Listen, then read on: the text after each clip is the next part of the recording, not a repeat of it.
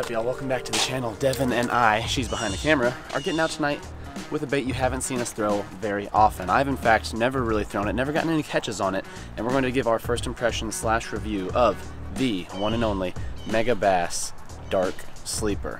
The things look ferocious, devastating. They have a hook that is actually tucked away inside these top fins so you can get through some cover. And you almost fish it, I hear, like a Texas rig or a jig, keeping bottom contact. Summertime, we're gonna try and find some uh, deep pockets. We're gonna just we're gonna chunk, chunk them around the bank too. We'll see what happens. We got a couple different juicy colors. Uh, we've got more of the naturals tied on for you folks. I know maybe you saw that pink and yellow thinking, I don't know if I'd throw that. Well, never fear. We got almost like a clear minnow shad color right here. Little chartreuse stripe on it. We also have this natural color, which Devin's caught a couple fish on already almost like a, a, bass pattern, but really resembles quite a few different styles of fish that could be swimming around in here that these bass like to eat. And uh, we're just gonna see if we can't catch a couple fish tonight before sunset. We got about an hour and a half to do so. Uh, a little bit more about the gear. Fluorocarbon line is what we're rocking. Literally, it's just a one rod, one reel mission tonight. We got the pliers and the scale on deck just in case we link up with something decent. And uh, that's that. Let's get to fishing. All right, y'all, water looks pretty clear, so these natural colors should do quite well. I'm gonna hit this little corner pocket see if there's anything hanging out over here. So I know in this pond there's some rock over here, and this seems to be working through it quite well. Fish impressions bouncing along the bottom. Oh, oh, I thought I might have had a bite, and that's exactly why you need to keep your line tight. You literally need to crank down a little bit, make sure there's no slack, and feel out those bites. Oh, and those rocks, wow, this is feeling good, man. This is feeling real bassilicious.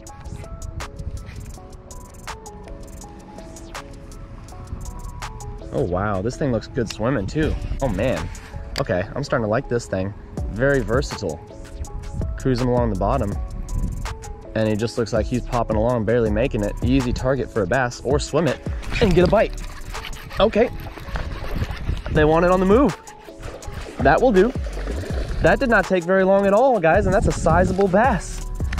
Swimming it. Okay, look at that.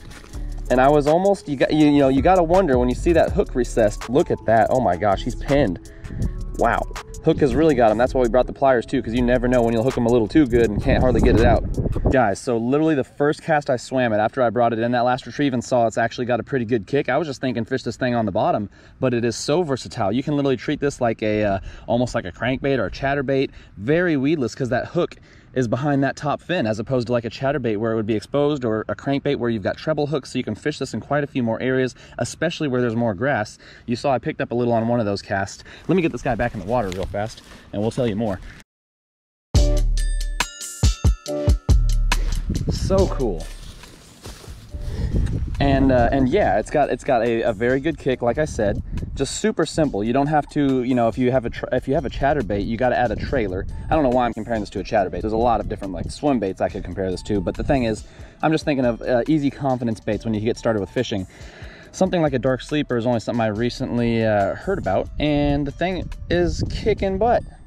So first cast on that slow retrieve got a fish. And you know i had casted over there a handful of times and not got anything. So sometimes you just got hit too. Devin just got hit, man, on the move. I didn't really detect the bite right off the bat. I was curious if I had a fish and then it started swimming to the left. So I was bringing the dark sleeper back in.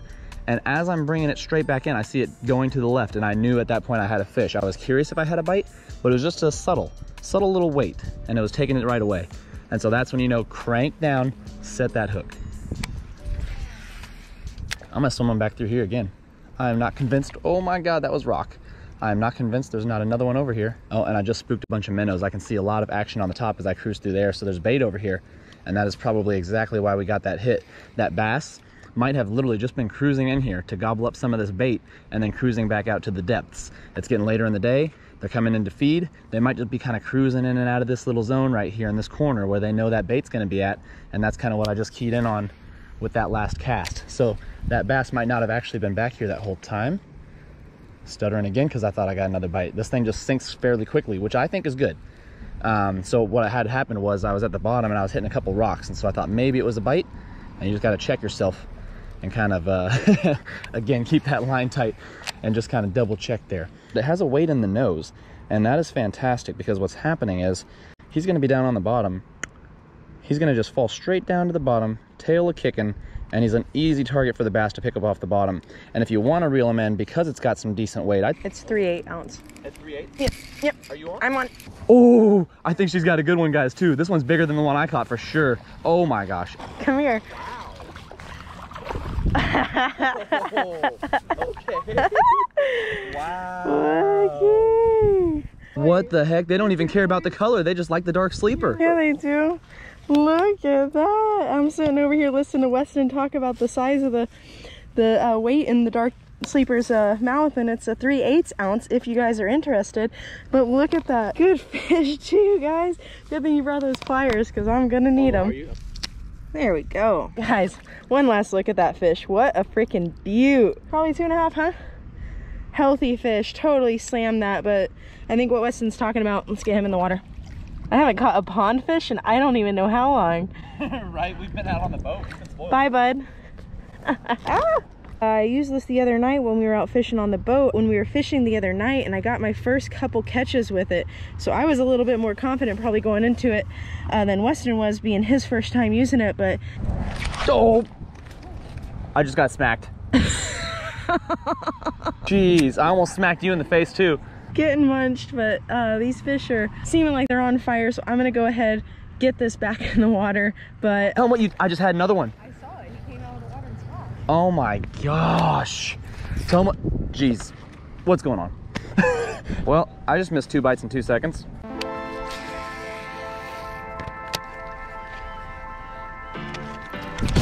Got him. There we go, number three. Uh, I don't think so. Might be small. Might be big. Oh, it's decent.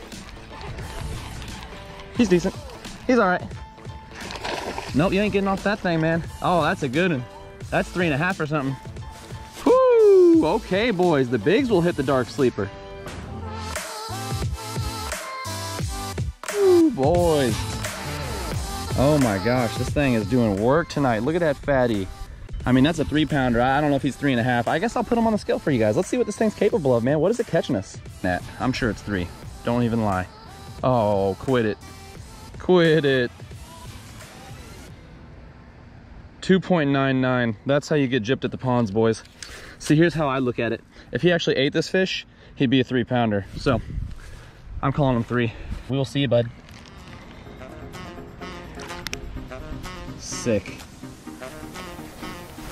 Oh, she's got one. Woo! Smoking them. I think Devin neglected to hit the record button on that one, y'all, but uh, needless to say, she just got the fourth fish. It was literally as soon as I put that one back in the water.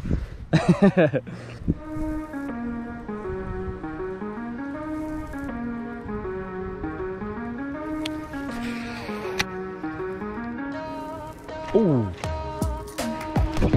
He's got it. First one off the bottom, jigging it. Boys.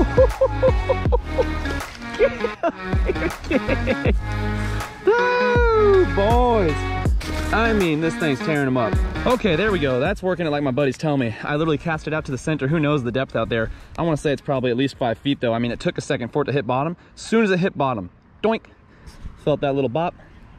Set that hook, man. But you saw me kind of tighten it down, crank it down, really reeling that slack. So when you got that drive, you're definitely like more likely to pin that fish, bring him home. Alrighty then, bud. We'll see you later. Thank you, sir. Let's go. Hey, okay, what's that, number five? I mean, he's doing the dirty. Gotta say, man, I like this thing because of its versatility. Like, you can fish this on the bottom just fine, and it's gonna look like a dying fish that these bass are eating. You can also swim it, and you can get them when they are really in the mood for something uh, running from them. I mean, this is just perfect.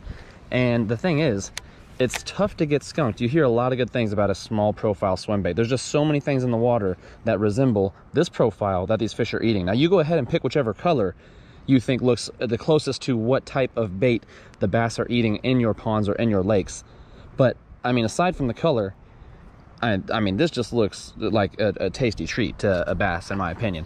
And um, you don't even have to take my word for it. You can take their word because they've been eating it tonight. So that is just, I mean, I'm telling you what, you want to carry one bait to a pond like we're doing tonight? This thing seems so perfect. I can swim it through all this brush right here, and then I can turn right around, and I can fish it like a Texas rig right here on the edge of the brush. I can just work it slow and see if the bass are hanging out by the cover.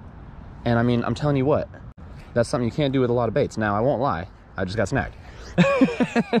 but but th that's not the point, man. That's not the point. the thing's pretty versatile. All right, let me get that free. Let's try that again. Yeah, you can fish it like a Texas rig right on the edge of the cover. Well, I'm not gonna say you won't get snagged or lose one of these, but I'm not gonna say you won't get snagged with a chatterbait or a crankbait or anything else you love to throw in a pond that you might not also want to fish off the bottom like this thing because it makes so much sense to by the old Megabass. By the way, if you guys want to pick these up, I'll link them down in the description forget where we bought them. you want to know where you can buy them. I'm going to put those things down there for you guys so that you can pick these things up. Look in the pinned comment or just at the top of the description and you will find these Megabass Dark Sleepers, man. I'm to make sure you're taken care of. And I appreciate you guys for watching. If you've actually uh, learned anything from this video so far, gotten any value, please feel free to hit that like button or even subscribe. And uh, if not, maybe just share this with a friend who you think is into fishing and would enjoy the video. So appreciate you guys. Let's continue along the bank here. Nice little overhanging tree. This could be good. New spot. I might have to stock up on these. It's my new favorite bait. I texted Adele, I said new favorite bait and sent him a picture of the big one. Water's definitely low here. Usually there's water flowing all the way down here into that lower pond. Oh, well, I guess that's what's going on. Wow, you know what? I wonder if they killed the grass. No, because there's a lot over there.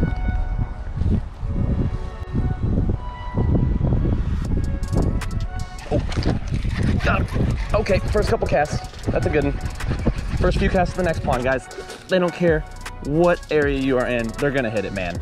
This thing, this is nuts. Sure. All right, buddy. We'll see you. He's cruising slow. Guys, as much as I want to switch colors and showcase something different, I just don't want to put this thing down. I think that's four fish and a uh, half hour to 45 minute time span from the very first bite, which, you know, I'm not setting records out here, but I feel pretty good about it.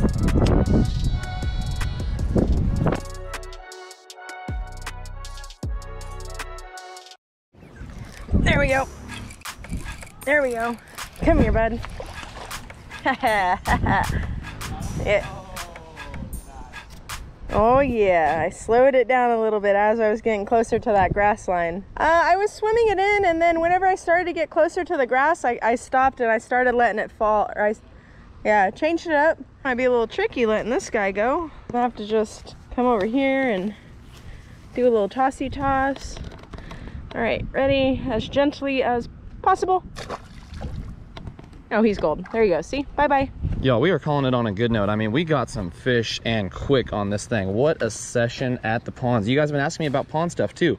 We've been hitting the boats and kayaks a lot lately and having a lot of fun doing it. And I know you guys enjoy that content, but I don't want to divvy away from how we got started, right? The bank fishing, man. Devin and I love it so much. And I actually outfished her tonight. Thank goodness, because she outfishes me every single day of the week. It's three to three, but I mean, I caught the bigger fish. Yeah, definitely. I outfished you. No denying, guys, in the comments. Definitely, I outfished her, right? Did I did I outfish her or did I? Not? Yeah, but I was in this video, so you actually caught fish. Uh, uh, she just said. Uh. All right, guys. Whether I outfished her or not is up to you guys. But let me just tell you what these things absolutely slayed. No matter who was throwing them. Wow, uh, that's all I got to say. I I will tell you. He's missing an eye now. I think I might have mentioned that in the video, but if I didn't, he is uh, he's eyeless on one side, which is no problem. Adds a little character. Don't think you gotta throw these things away just because you lose an eye. It's gonna happen. Also, we had a little bit of a nose blowout, but there's a way to fix that. You guys can save these baits, man. Use Mend It. You absolutely have got to get you some of this soft plastic glue. I'll also leave it down in the description for y'all so that you can save these baits because what happens is they get torn up right here as you're setting the hook and you're driving it over cover and this thing's bashing up against trees and rocks and all that stuff. It's gonna get torn up. It's just the name of the game. So have it looking fresh, like new, with some soft plastic glue made specifically for baits. And you can keep these things around in your tackle box for a long time without having to toss them out, man. I'm talking about even if you were to chop a tail off. I've literally used Mend It to put a tail back together. We've had baits break in half because of big bass. Not these, not these by the way, other soft plastic baits that have gotten absolutely destroyed from these bass you can put them back together with this stuff. So I can't talk highly enough of it, and that's why I'm rambling on and telling you you should get some. Now, when it comes to the colors, we threw like two out of 10 or more color schemes that you can get these in. So I highly recommend you check these things out online and get you your favorite color. One thing I like about these so much is that a lot of people are intimidated to get into swim baits. Uh, not necessarily the small ones, sometimes those bigger swim baits, but this can get you into the swim bait game. And the thing is, they're affordable and they're already all put together. What do I mean? You tie your knot and you fish it. That's what I really dig about these is how simple they are. See now, a lot of times you've got to go get you a hook, Maybe you get a weighted belly hook, or maybe you get an underspin, or maybe you get, there's a bunch of different stuff. Like, do I get twist lock? What do I do to throw just a swim bait that I get out of the bag? Well, this has got everything attached and ready to go. It's got the weight in there that you need. It's got the hook on top, right? It's hidden so the bass don't see it. No more worrying about what size swim bait you need on what size and weight hook because you don't have to pair them up. It's all done for you. If you get the one ounce size, it's gonna have a bigger profile. If you get the quarter ounce size, it's gonna have a smaller profile profile. So literally it's ready to rig up and hit the water. They do offer these things in a lot of different sizes, man. I mean, I think it starts off at a quarter ounce, which if I'm not mistaken is like 2.4 inches in length. And then it goes up to these higher uh, quarter and half. And uh, this is a 3 8 ounce actually and it is a three inch if I'm not mistaken. So they go all the way up to I think one ounce. I would say go with something like the quarter if you have just grass almost to the surface or you're fishing smaller bodies of water and you want to creep that thing uh, pretty close to the top of the water column. You don't want it to sink very low. Or you want to finesse it down and you're just going for a smaller bait, maybe try and get more bites even than one of these three inches would, and that is very common as well. Or maybe let's say it's wintertime and you need a slower fall. You want just a more subtle kick, right? Then that is when I would go with that smaller size. I think this 3 8 size is a fantastic all around. I mean, this is this thing. I was really, I was really enjoying this specific weight. Now, the one ounce, you might toss that out on some lakes and whatnot. When you're trying to really get down deep, you're trying to go down 15, 20 feet and fish almost like a jig, right? You'd get down there and you just fish some humps and ledges, different things of that nature. Summertime, right? That's right here, right now. Drop one of these down there. They're, they're chasing fish. You know what they're down there eating. So throw them something that they're want to eat, man. So an awesome video. I hope you guys really got a lot out of it, and we cannot wait to see you on tomorrow's episode. I know I'm getting this one up late. That's just how it goes, man. Sometimes I can't edit these things until we get done filming them. We filmed two. Uh, we actually filmed two videos today. That's besides the point. We'll see you guys tomorrow. Peace.